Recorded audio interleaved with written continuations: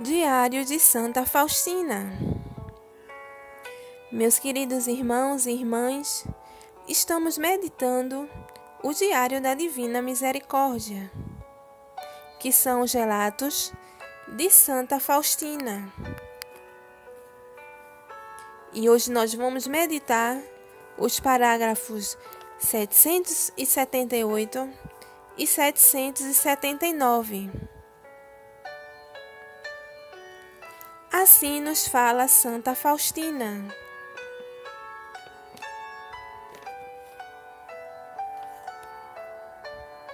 E Deus deu-me a conhecer uma única coisa que a seus olhos tem valor infinito, que é o amor a Deus.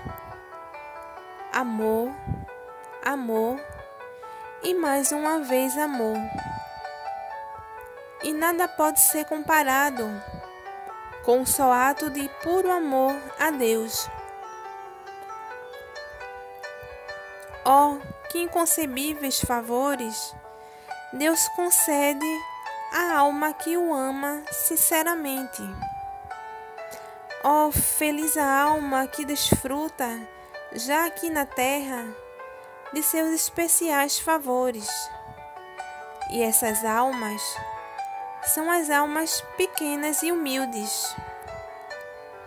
Essa grande majestade divina que conheci mais profundamente e que os espíritos celestes glorificam de acordo com o grau de graça e a hierarquia em que se dividem, vendo essa potência e grandeza de Deus, não causou na minha alma nem terror, nem medo.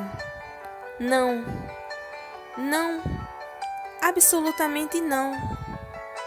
A minha alma ficou repleta de paz e amor. E quanto mais conheço a grandeza de Deus, tanto mais me alegro por ele ser assim. E alegro-me imensamente com sua grandeza e alegro-me por eu ser tão pequenina, porque por eu ser pequena, ele me toma nos seus braços e me conserva perto do seu coração. Rezemos juntos. Ó sangue e água que jorrastes do coração de Jesus, como fonte de misericórdia para nós, eu confio em vós.